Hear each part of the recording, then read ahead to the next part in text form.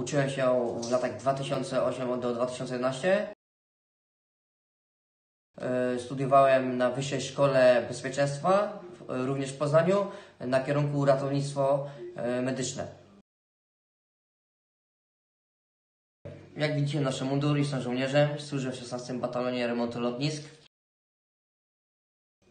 Jest to praca, służba bardzo wymagająca, nawet wymagająca wiele wyrzeczeń, poświęceń, dlatego że wyjeżdżamy na długie miesiące e, do różnych miejscowości, na różne lotniska.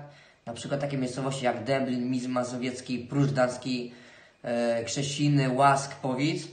Spędzamy tam bardzo długie miesiące, pracując na płytach, odtwarzając zdolność mobilizacyjne danych płyt jednostki wojskowych.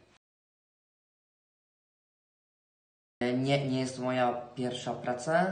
Zanim zacząłem służyć w 16 Batalionie Remontu Lotnisk, miałem jeszcze dwie inne prace, ale które nie miały nic y, wspólnego z kierunkiem, który ukończyłem w Zespole Szkół Rolniczych w Sieci Wielkopolskiej.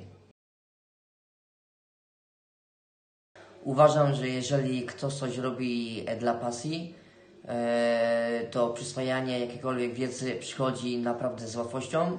Dodatkowo grono pedagogiczne każdemu pomagało. Oczywiście, że tak. Nawet e, nie jeden nauczyciel, ze względu na to, e, że jakikolwiek, e, który z nas miał problem, służyli swoją pomocą, ale z takich najbardziej, z którymi mam nawet kontakt do dzisiaj, jest to pan Marek Idaszek oraz e, pan Łukasz Korcz, moi dwaj wychowawcy. E, bardzo dużo im zawdzięczam.